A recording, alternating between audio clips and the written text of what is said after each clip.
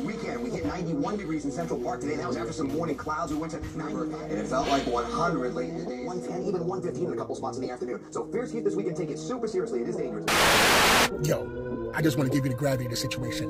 Look at my dash right here, man. Look at that. 103 degrees. 103. Yo, it is burning out here. All right.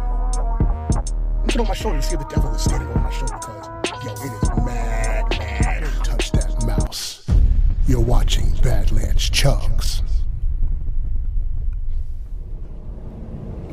What's good, y'all? Another episode of Badlands Chugs, man. And oh my God, it is so hot out here. I mean, heat index is the same as the temperature, man. Over 100 in New York City. And right now, I'm about to chug some ice. Can you get that? Focus? Woo-wee. It's a new vitamin water. It's called Ice. Cool Blueberry Lavender.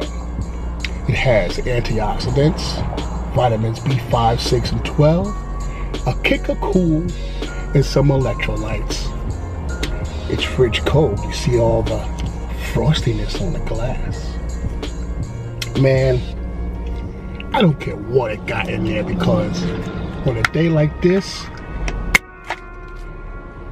I'm gonna have to chug it and cool down. But you know, one is not enough for your boy. I always gotta have two. So, let me unscrew this bad boy and I'll give y'all the top as usual.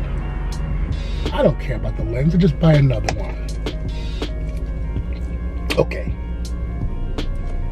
Enough talk, folks. You know what y'all came for. You came to see me chug.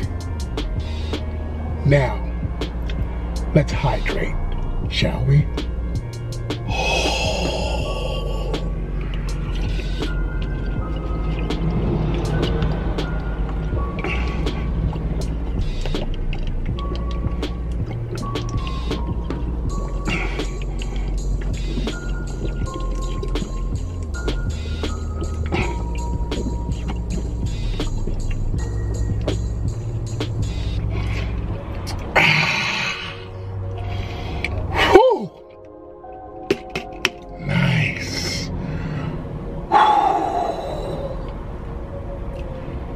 Feel cool down.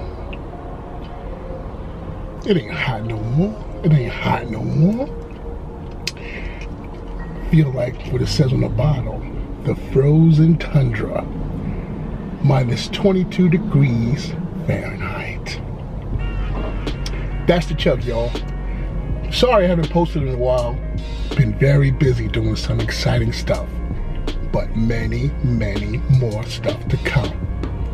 All you gotta do is just tell your friends subscribe and stay tuned. In the world, one bottle at a time. Chugs is back.